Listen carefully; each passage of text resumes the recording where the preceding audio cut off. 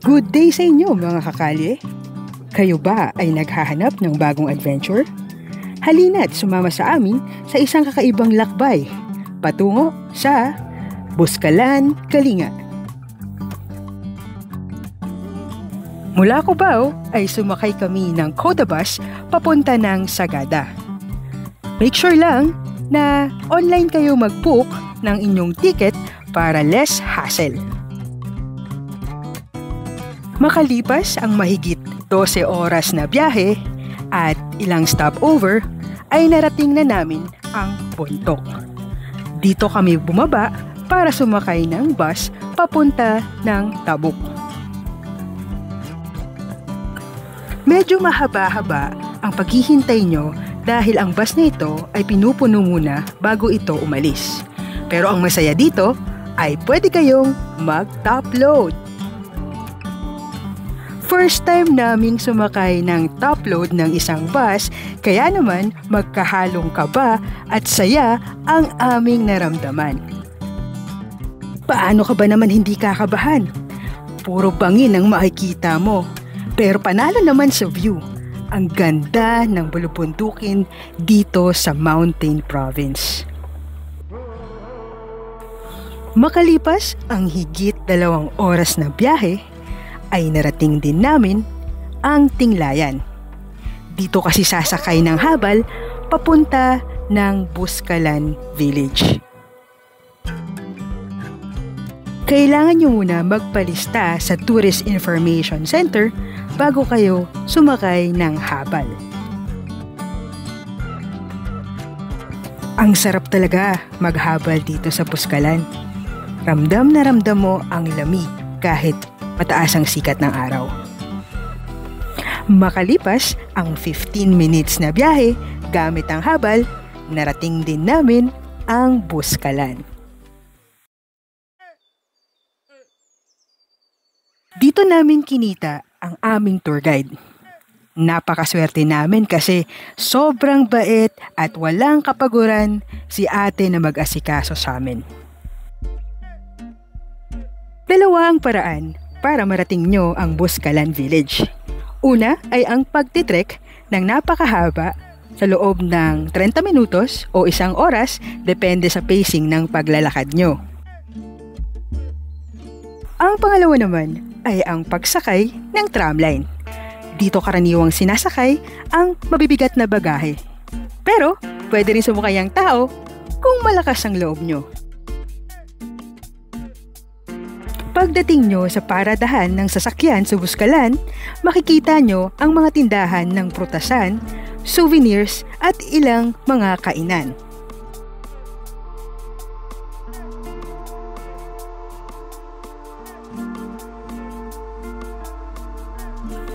Medyo kinabahan nga lang ako dito sa tindahan na to. Paano kasi? Nakadisplay ang mga buto ng mga hayop na siguro kanilang nakatay.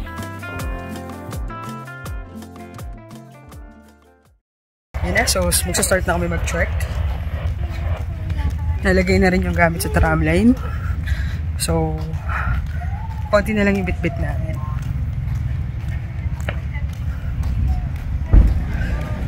Sobrang lamig pa rin dito. Kahit tanghaling tapat na. Buskalan Village. So maganda talaga na meron kayong tour guide kasi siya na yung nagpapa-reserve sa pagpapatato kay Apo Wanggod. So, number 26 kami. Kasi number 1, tatlong van. So, good luck sa amin.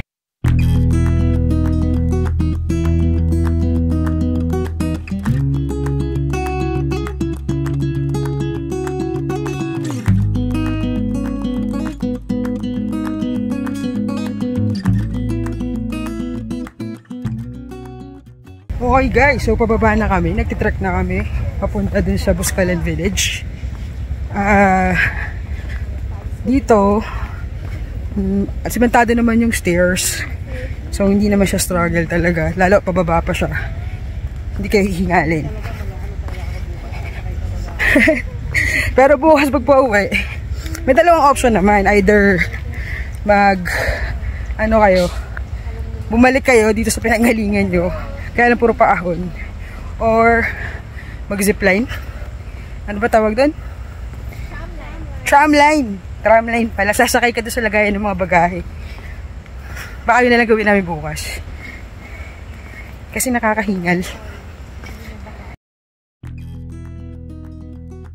Makikita sa Buskalan ang tunay na ganda ng kultura at likas na yaman ng Pilipinas. Ang bayan na ito ay kilala sa mga magagandang tanawin at sa sining ng pagtatatu.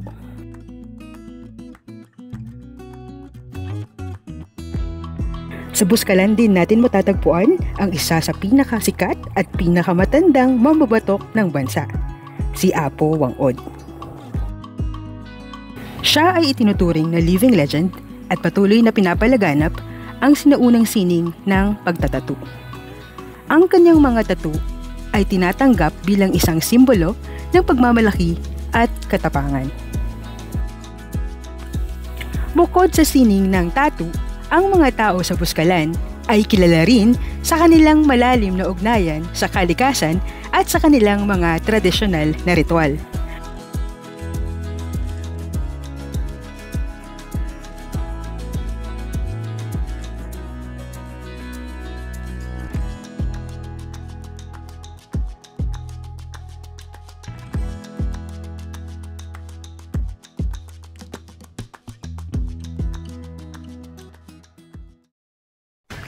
Hi guys, so bakit na ulit?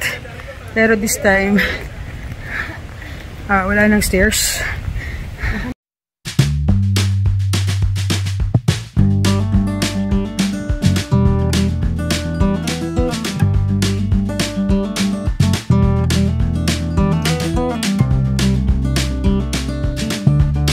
Okay, so pa ako, pa ako na to. Kumusta sa mga walang ensayo? Hingal ka?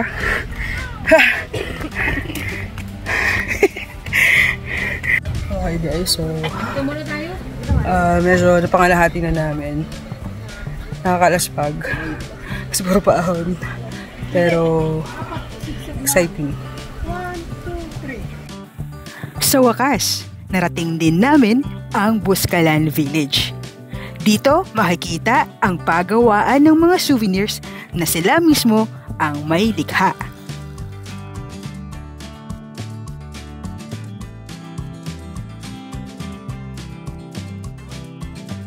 Ang kanilang mga tahanan ay karaniwang gawa sa mga lokal na materyales at sumasalamin sa simpleng pamumuhay na nakakaayon sa kanilang kapaligiran.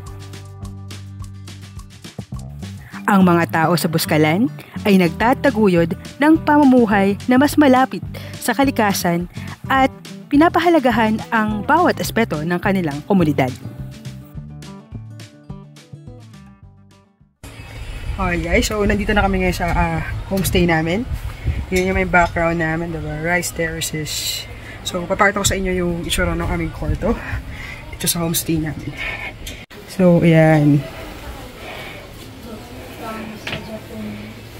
Yan yung hihigaan namin.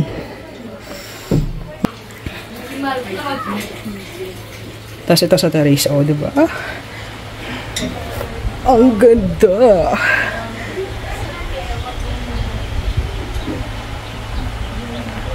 Ang mga tattoo na ibinibigay dito ay hindi basta-basta. Ito ay may malalim na kahulugan at simbolismo na ipinapasa mula sa henerasyon hanggang sa henerasyon.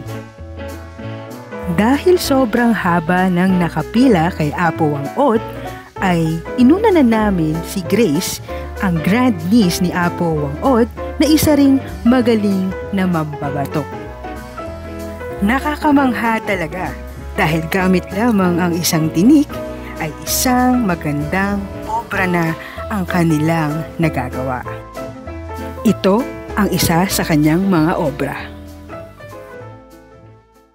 Saan yung pinit mo, be? Okay. So ito, ipa-follow ni Elian. Opo. Munag. Munag.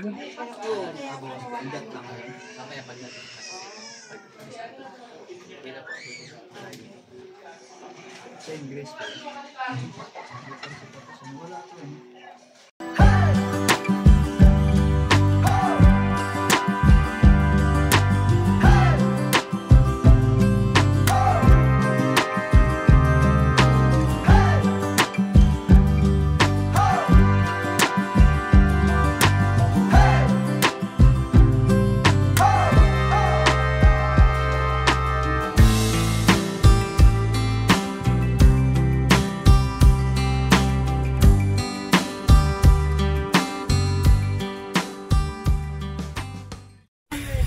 Okay guys, so since pagod na kami maglakad, pabalik, eh, sasakay na lang kami ng tramline. So, papakita ko sa inyo. Ayan o, so dyan kami itatawid sa tramline na yan. Para kaming nagzizipline, pero ewan ko kung hihiga kami or nakaupo. So, sa halagang 200 pesos ay makakarating ka doon within like 2 minutes. Ayan. Ikaw na dyan. So, tignan natin kung sino una mauuna.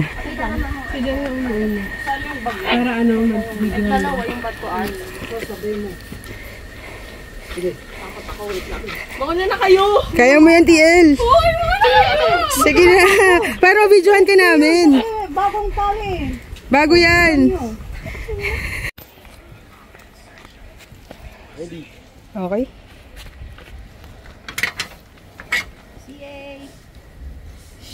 Eh, na yan. Woo!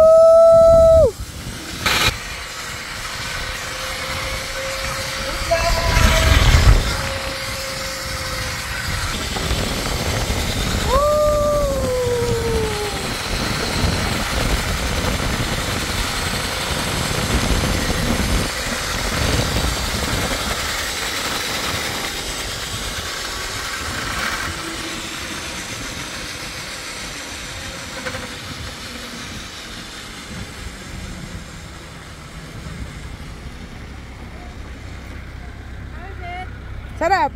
So, yun nga guys, no? Tapos na kaming mag-tramline. Sa halagang 200 pesos ay nandito na kami kagad sa baba. So, wala nang kahirap-hirap. 2 minutes time lang, o, oh, diba? Hindi ka na nagpakahirap maglakad.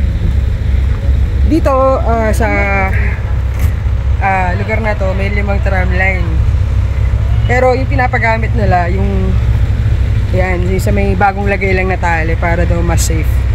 Pero kaya naman, tsaka hindi talaga siya nakakatakot.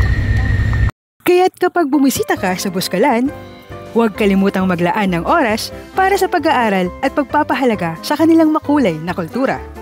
Tiyak na magiging bahagi ka ng isang natatanging karanasan na magbibigay sa iyo ng mas malalim na pag-unawa sa kanilang pamumuhay.